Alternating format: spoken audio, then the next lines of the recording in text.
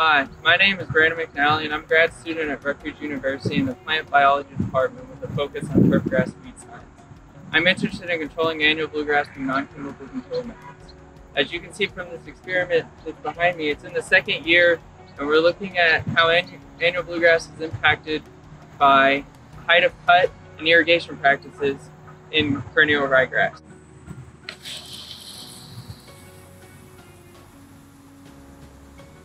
One of the factors in this experiment is irrigation frequency. Plots are irrigated once or three times per week from June to October of each year. They are irrigated with 60% ET replacement and we take rainfall into consideration. We never apply more than 0.25 inches of water per hour, so sometimes it takes multiple applications to get this done. We typically try to apply between 8 a.m. and noon on the days that we're supposed to apply these plots are set up with the irrigation frames and the plots that get irrigated three times per week. And as you can see here, this is a randomized split plot design with, here's our second factor is our height of cut. This is our lower height of cut. The back there is our higher height of cut. And it's all randomized throughout our four replications.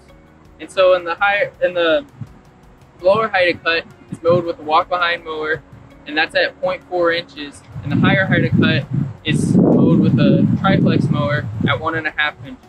And all plots are mowed two to three times every week.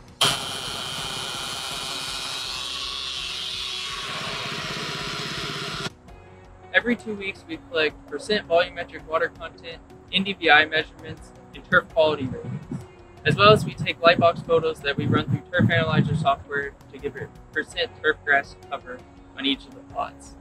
Every month, we take visual assessments of our percent annual bluegrass in each plot, and in October of each year, we take grid counts to collect the percent of annual bluegrass in each of the plots. 2019, we didn't receive a drought until about middle of August.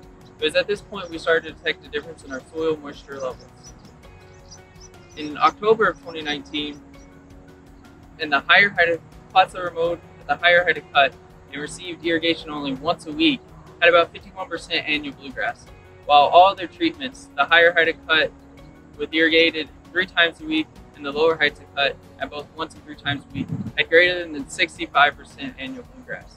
Unfortunately, what we found was that the annual bluegrass recovered or regrew in these areas that had been weakened. So in the future, we'd like to potentially look at something with more competitive creeping growth habit, such as creeping bentgrass that has stolons, rather than the perennial ryegrass, which is a bunch type of grass. Like I mentioned earlier, in 2019 we did not receive a drought until mid-August. And we maintained good turf quality in all plots throughout the entire season.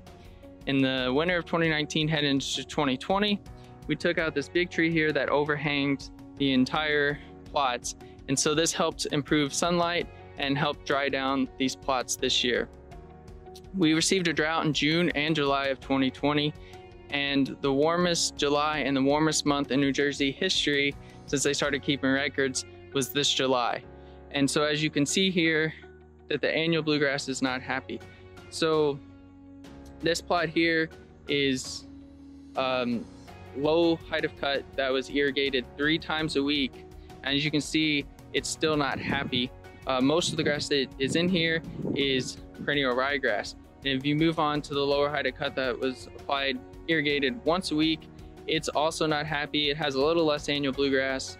Um, and the ryegrass is still doing fairly well though.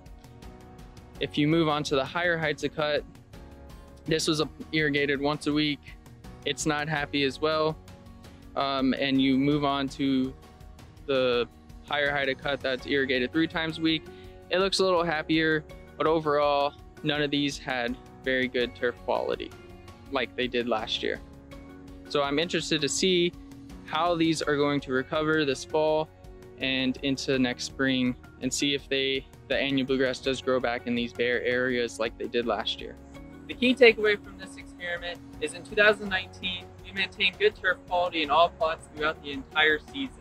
And plots that were mowed at the higher height of cut and only irrigated once a week had less annual bluegrass than all the treatments.